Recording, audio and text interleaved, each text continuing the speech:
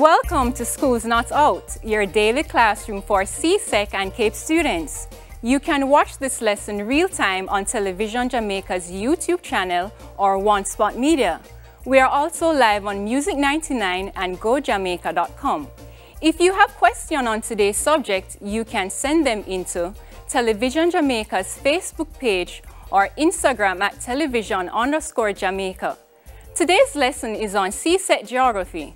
We will be focusing on global warming and climate change. I am Borzana Jones Mullings, your teacher for today. So, first of all, I'd like to start off by saying Happy Teacher's Day to my fellow colleagues. Continue being the beacon of hope in today's system, and I hope you have a wonderful day.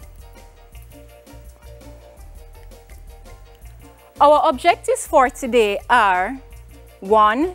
Describing the greenhouse effect 2. Examining the ways in which human activities influence climate change 3. Compare the consequences of climate change in the Caribbean with those in the United Kingdom and finally, to compare measures to reduce the effects of climate change in the Caribbean with those used in the United Kingdom. First of all, we want to start off by differentiating weather and climate since we're on the topic of climate change.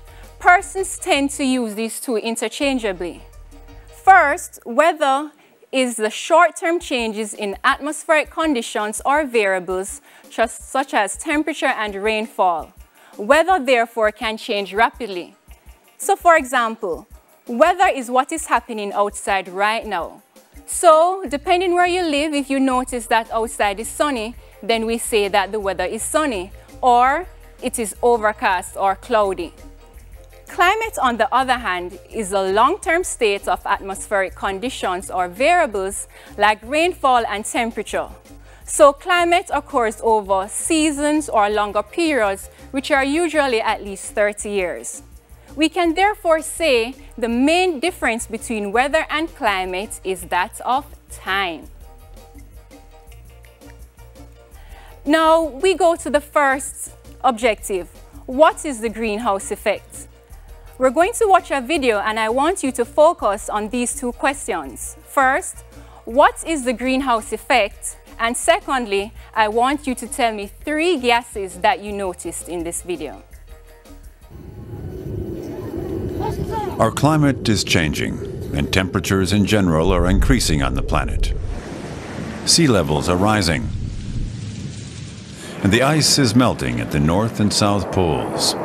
One reason for this is the greenhouse effect. But what is the greenhouse effect? A greenhouse is normally something useful. It helps us grow things like tomatoes out of season. That's because it's nice and warm inside a greenhouse. The sunlight enters and visible light penetrates the glass. This is partly absorbed by the plants and the soil and partly reflected on the outside as invisible heat radiation. As a result, temperatures rise inside the greenhouse. The planet Earth obtains warmth in a similar fashion, which is fortunate because otherwise we could not survive. Without the natural greenhouse effect, temperatures on our planet would be around minus 18 degrees Celsius, and not the average 15 degrees Celsius above freezing. Sunlight penetrates the gas layer of the atmosphere. It's partly absorbed and partly reflected, just like in a greenhouse. Small particles in the air ensure that a percentage of the reflected radiation is sent back to Earth. However, humans cause a lot of pollution by producing large amounts of carbon dioxide, methane, and nitrous oxide. The small particles increase in number, and the result is just like a greenhouse where the glass is too thick. So an increased amount of radiation is sent back to Earth and the heat is unable to escape, causing temperatures to rise constantly on our planet. Okay, so based on that video, what can we say is the greenhouse effect? It is the process by which the atmosphere warms the earth by trapping radiation or heat energy And secondly, I asked you to observe three gases. So if you remembered carbon dioxide, water vapor, methane, nitrous oxides, chlorofluorocarbons or CFCs, good job. Now, the atmosphere acts like the glass of a greenhouse. The sun rays hit the atmosphere and some are reflected. Some of these rays pass through and reach the earth and the earth warms. The greenhouse effect makes earth warm enough to live on. So students, the greenhouse effect is indeed a good thing. However, it becomes a problem when these gases trap excess heat and causes Earth's temperature to rise. Global warming is the increase in the average atmospheric temperature. So we want to make this clear from now. We're going to be talking about global warming and how it influences climate change. Persons again tend to confuse global warming and climate change. So climate change is actually a product of global warming. We move on to human activities that influence climate change. On our diagram, some of the activities include deforestation. We cut down trees for agricultural purposes, or to build roads, or for tourist attractions, or even to build houses. We also spray, use aerosol sprays containing CFCs, which also cause damage to the ozone. Vehicles usually ex emit exhaust such as, uh, that are sorry, vehicles usually emit exhaust and this also contributes to pollution. When fossil fuels are burnt, such as oil and coal, these also cause damage to the earth.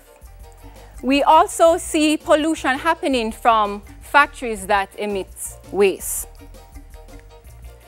Other human activities that also affect global warming include Combustion, when we burn coals and fossil fuels, as we said before, deforestation. Methane is also another important gas which causes adverse effects. Methane is released when we use landfills. Now, landfills are sites where we bury garbage, and these, of course, emit methane. When we practice agricultural activities such as the growing of rice, methane is also expelled. When we grow livestock, so for those of us who love to eat meat, livestock, especially cattle farming, releases a lot of methane to the atmosphere. Other gases also cause damage. As I said before, we also have ozone from car exhaust, and when we spray CFCs from aerosols. Now, we need to look at these changes as these will continue into the future and the implications they have today we will first look at temperature. Now, scientists have come up with models where they use these to predict what will happen in the future. Now, based on these diagrams that I have here, mean changes in the annual mean surface temperature for 2071 to 2099, that seems a far away from now, with respect to 1961 to 1989, which are those two pictures at the bottom, are simulated by models.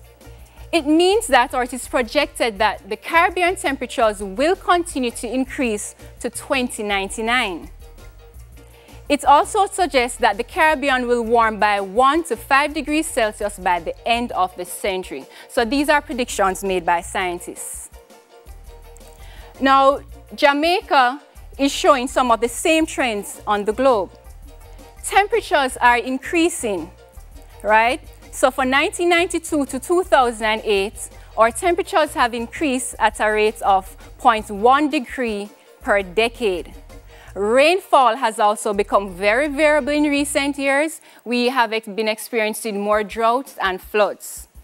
Sea levels are believed to be rising also at a global rate.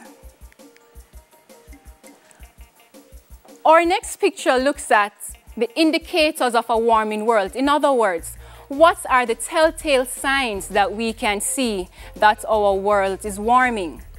We can see that there's a decrease in our glaciers and snow cover. And this is due to the fact that we have less precipitation, right? So we'll have less snow cover and glaciers. We also see that humidity is increasing, As temperatures rise, humidity will increase as there's more evaporation taking place. We also see that we have a decrease in ice sheets. These ice sheets that are melting will also contribute to the rise in sea level.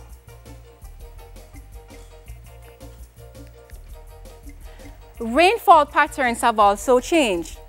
If we look at this map, we will notice that it shows the severe drought that occurred or was common in 2016.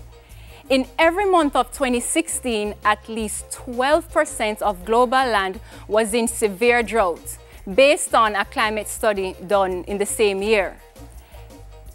This indicates that trends vary widely by regions and over time. The warming temperature can cause other changes, including changes in rainfall. The area shaded red in the diagram indicates that there is a decrease in rainfall, while the blue shaded areas indicate that those places are wet. Now, we have been talking about the increase in temperature. Now, this increase in temperature also causes an increase in our global sea levels.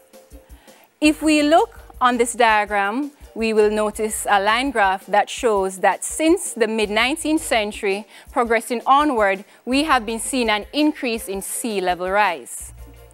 During the 20th century, there is an average increase of 4.8 to 8.8 inches per century and this is due to the expansion of the water that has melted from the mountain glaciers we talked about before and the small ice caps. There's also new evidence that shows that the rate of sea level rise may be at a greater rate than we originally predicted or anticipated. You would have also known or noticed around you that we are seeing more extreme weather patterns. Hurricanes are not only the extreme measure of climate we have seen changes in. In fact, since 1970, the number of heat waves has increased and widespread increases have occurred in the number of warm nights. And I'm sure you at home can attest to this, as in these nights have become so warm and it's not even summer yet, but we are really feeling the heat. The extent of these regions affected by droughts has also increased. Generally, the numbers of heavy daily precipitations will vary. However, evidence suggests that there are substantial increases in intensity and duration since the 1970s. These changes will continue into the future. We continue to look at the impact of sea level rise. In this photograph, we have a projected land loss from sea level rise at Hope Bay in Portland. The area shaded blue shows that if the sea level continues to rise up to three meters, that area beyond the blue line will be flooded. And you'll notice on our photograph that we have houses there. In fact, we know that as geographers, many persons tend to settle along coastal areas due to the topography of the area. Now, what this means is that a lot of towns and cities will be lost due to the rising sea level. The Caribbean sea level may rise and it will be higher than any other region because we are very close to the equator. Hurricanes and storms will also be more intense with higher rainfall rates and increased maximum winds. And we know the damage that these storms can cause. There's no doubt, students, that climate change is affecting our lives and touching every area. We will now look at some of the areas. Our health, yes. Climate change affects our health. There has been health-related deaths. There's the spread of infectious diseases. Air quality is compromised because if we look in areas that experience smog, if you have asthma or other respiratory illnesses, then this can be an issue for you. We also look at how agriculture is impacted. Agriculture is impacted through crop yields. So if farmers can't get to grow crops due to lack of rainfall, then we'll find out that our crop yields will be very low. Irrigation will be in demand because of the lack of water. They need to find ways to be able to water their crops. They'll also need to exercise pest management and control. Our forest also is impacted as well. The forest health is impacted, its composition and productivity. Again, if there's less rainfall, then of course this will impact vegetation. Our water sources students are also impacted. We see changes in precipitation, whether it may be snow or rainfall. Our water quality is also affected. Example, the saltiness of our water and our water supply is also affected. When we look on coastal areas, these areas are also affected. Coastal areas can be eroded or inundated.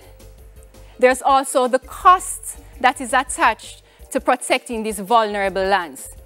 If we look at the Palisadoes Strip, we can see those boulders which constitute a seawall. I'm sure it was a costly project to do so. And finally, on this diagram, we look at the wildlife. You can see a turtle and where he's at is most likely a coral reef.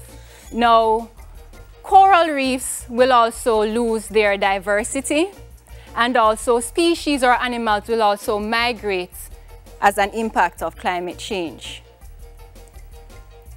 Climate change is affecting our everyday lives. We look at our farmers in St. Elizabeth and they have noticed a shortening of the early growing season and increasing prevalence of droughts during these months. And that is because of the decreased rainfall, which will affect their agricultural yields.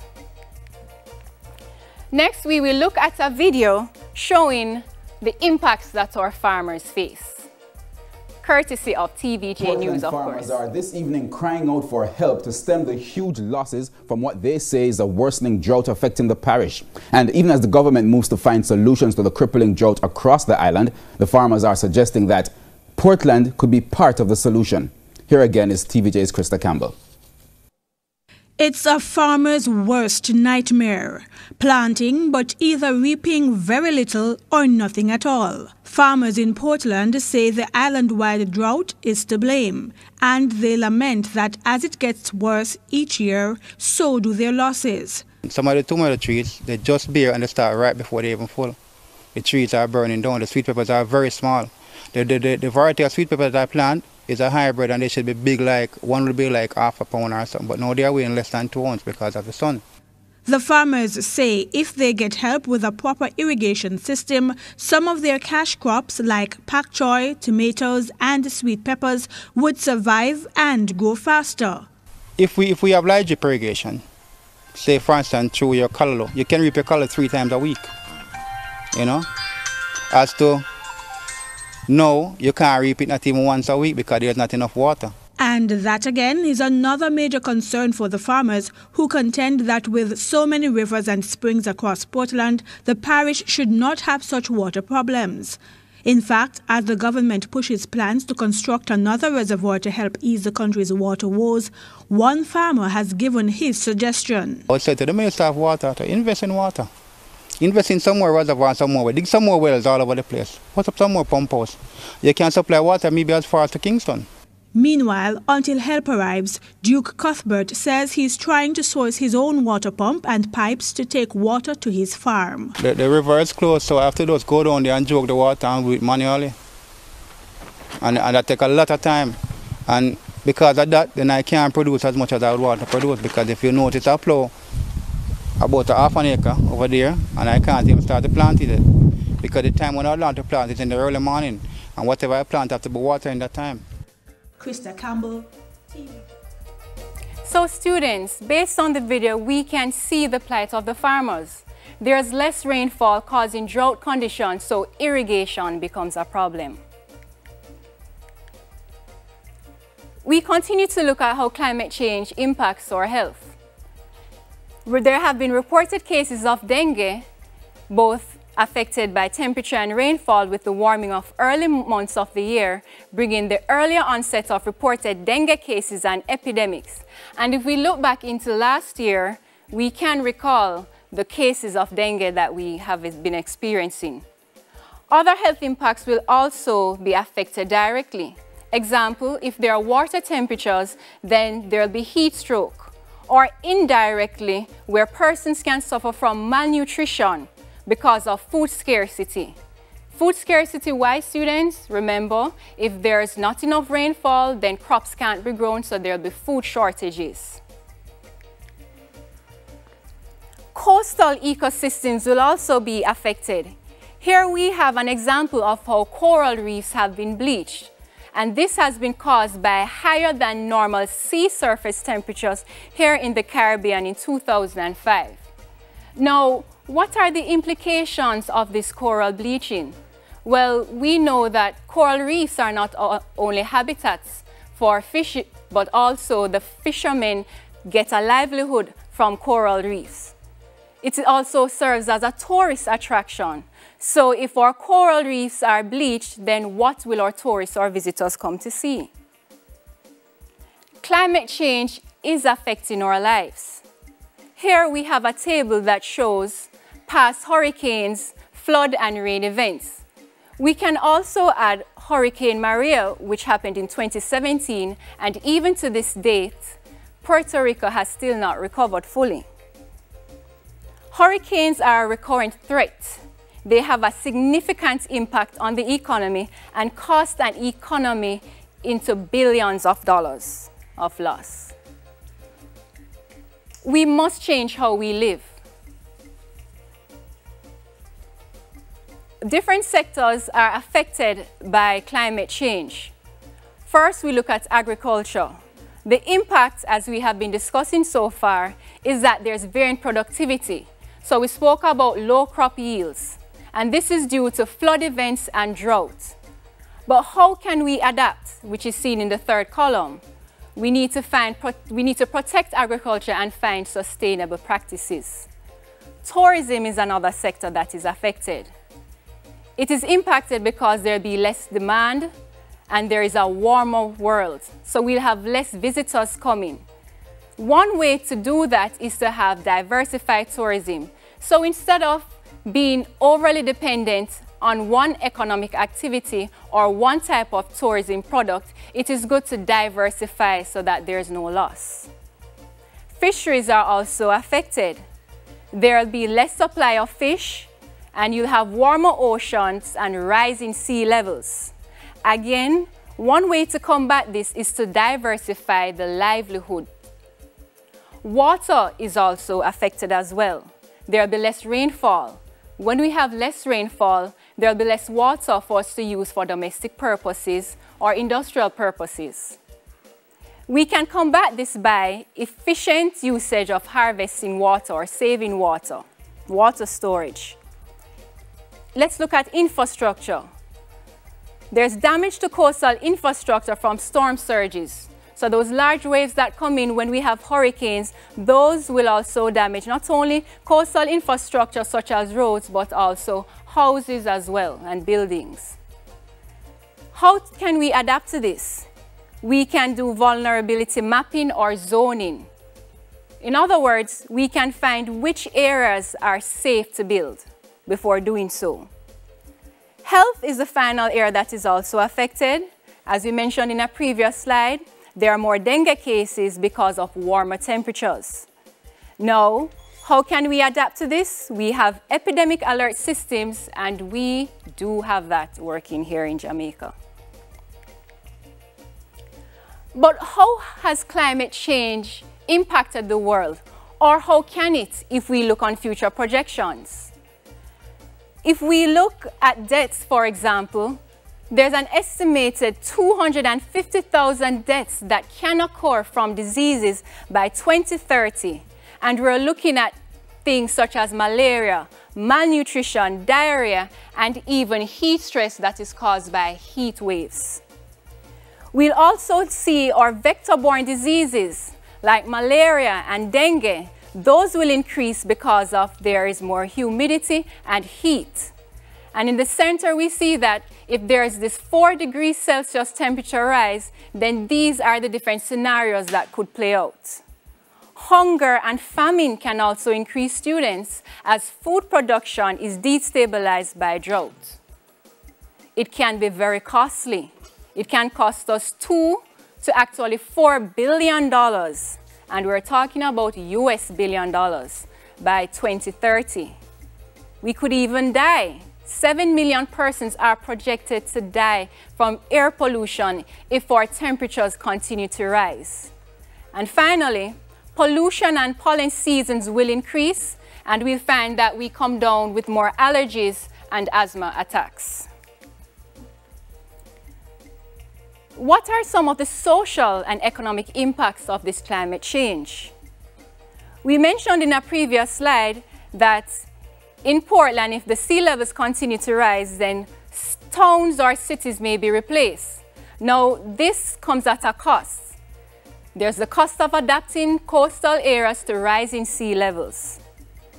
We also look at the loss of the capacity to work due to heat. Now, my colleagues can attest that we have been experiencing warmer than usual temperatures in the classroom, and we know that these conditions are not conducive to learning, to the students or to ourselves. Fresh water supply will also be in short supply in some areas. Diseases will spread because of these high temperatures.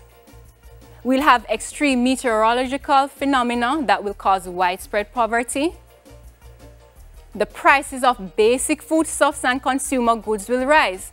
And we see that happen in students. Whether you go to the market or your parents go to the market, we know that when certain crops are out of season, then the prices go up because there's a demand for it. There are also shrinking producti productivity of harvest. Now, our third objective requires us to look at the effects of climate change in the Caribbean and the United Kingdom. For the Caribbean, we'll focus on Jamaica. Now, in Jamaica, average temperatures could increase between 1.4 and 5 degrees Celsius, while in the United Kingdom, there is an above 1.2 degrees pre-industrial levels and a 0.8 degrees Celsius increase since 1961 to 1980. In the Caribbean, there's an estimate of 3.1 millimeters per year rise in sea level, while in the United Kingdom, there has been a 16 centimeter increase in mean sea level since 1990 there's a projected 10 to 20 degrees, sorry, percent decrease in rainfall. In the United Kingdom, there are indications of heavy rainfall through hard to quantify. And finally, in the Caribbean, there are more droughts and increased summer temperatures, while in the United Kingdom, 10 to 25% chance of heat waves have been noticed in comparison to a less than 10% chance each year a few decades ago. If you have questions on what we have done so far, you can send them in on our various platforms and I will see if I can answer in the final segment. School's Not Out will be right back. Don't go anywhere.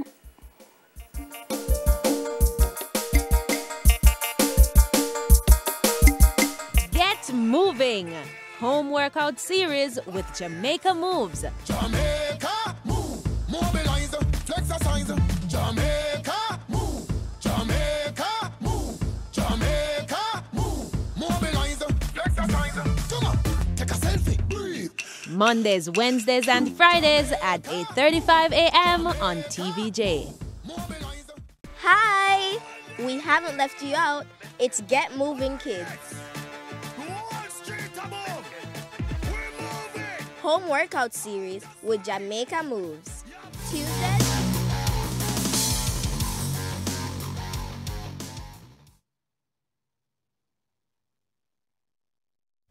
Get moving! Home workout series with Jamaica Moves. Jamaica Move!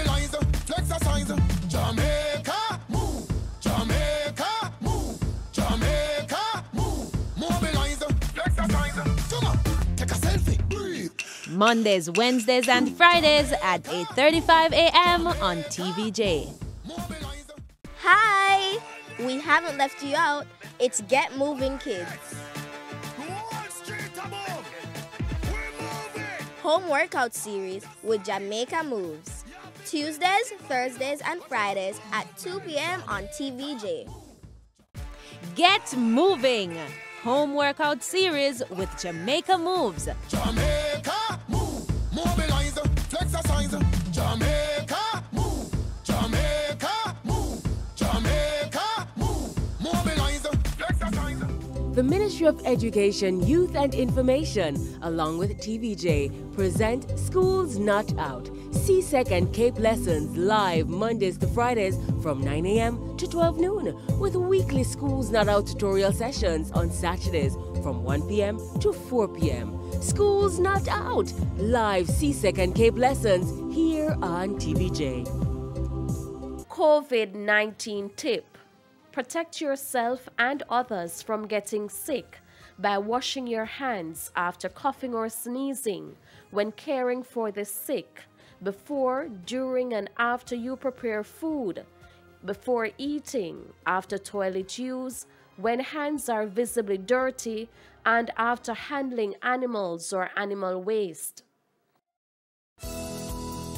Reduce your risk of viral illnesses like the flu and coronavirus. Wash your hands frequently with soap and water. Cover your nose and mouth when coughing with a tissue and dispose of it. Avoid close contact with anyone with a cold or flu like symptoms. If you become ill, please visit your doctor or the nearest health center and share your travel history. The flu and coronavirus can kill. Let's protect each other. A message from the Ministry of Health and Wellness.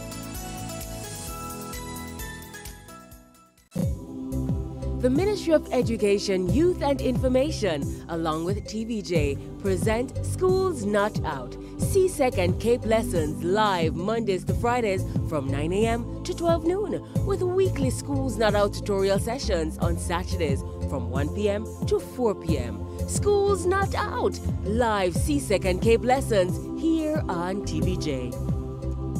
COVID 19 tip Protect yourself and others from getting sick by washing your hands after coughing or sneezing, when caring for the sick, before, during, and after you prepare food.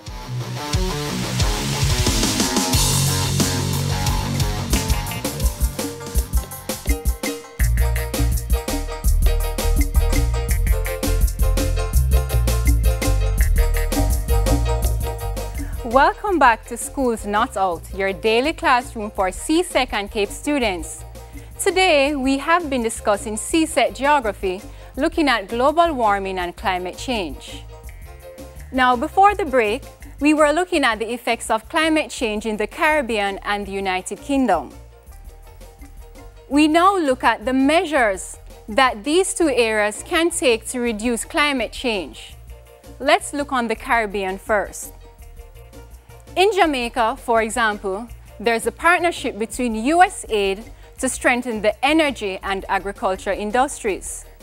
There are also collaborations with 25 representatives from academia, the private sector, utilities, and six government agencies. We also practice renewable energy, for example, the Wigton wind farms. There are also improved relationships between farmers and RADA. Let's look at the United Kingdom and see what measures they have been putting in place. There are legislations for net zero greenhouse gas emission, and this should be achieved by the year 2050. There's also a committee on climate change. They also encourage low carbon farming practices, especially when it comes to using a particular fertilizer. They also reduce food waste and consumption of the most carbon intensive food, such as beef and dairy. Now, before I go on, we, let's go back to Jamaica. Jamaica has also signed the Paris Agreement, and this agreement works with small island developing states like Jamaica and help these countries to reduce the impacts that are felt from climate change. Now, let's test your knowledge. Let's see how well you have been listening so far. We'll go to some multiple choice questions. Now students, I encourage you to use the process of elimination when you're approaching these questions. No, I don't want you to use when in doubt, you see. I want you to eliminate. So let's look at the first question. Which of the following features is the most important difference between weather and climate? Is it A, time, B, rainfall, C, location, or D, temperature? If your answer is A, you are correct. We move on to the second question. Which of the following sources of energy is least likely to harm the environment? Is it A, nuclear, B, solar, C, oil, or D, natural gas? If you answered B, solar, you are correct. And finally, which of the following actions can help to reduce the emission of greenhouse gases? One, increased use of chlorofluorocarbons or CFCs. Two, increased use of solar power. Three, reduction in the use of fossil fuels. Is it A, 1 and 2 only, B, 1 and 3 only, C, 2 and 3 only, or is it D, 1, 2, and 3? If you answered C, you are correct. Hooray! Now students, our final video appeals to us to do something about climate change. Let's have a look. So students, in the video we see that climate change is our responsibility. What are some of the things that we can do on an individual level? Well, we could take into account how much electricity we use. We can turn off lights when they're not in use. We can unplug appliances. We can limit simple things as going into the refrigerator every minute. We can also take steps in conserving water so that we have sufficient in times of drought. What are some other things that you can think of that we can make in order to combat climate change? Now, let's briefly recap today's lesson. So far, we were able to define global warming, greenhouse effect, and climate change. But sorry, that's all for today for CSEC Geography, Global Warming and Climate Change. We hope you grasp some of the points that we discussed. You can catch a repeat of today's lesson on JNN today at 4 p.m. and in Schools Not Out highlights on Saturday between 1 and 4 p.m. right here on TVJ. It will also be on video and demand on One Spot Media. Until next time, I'm Borzana Jones Mullings. Pleasant viewing, stay safe, stay in, and remember to wash your hands.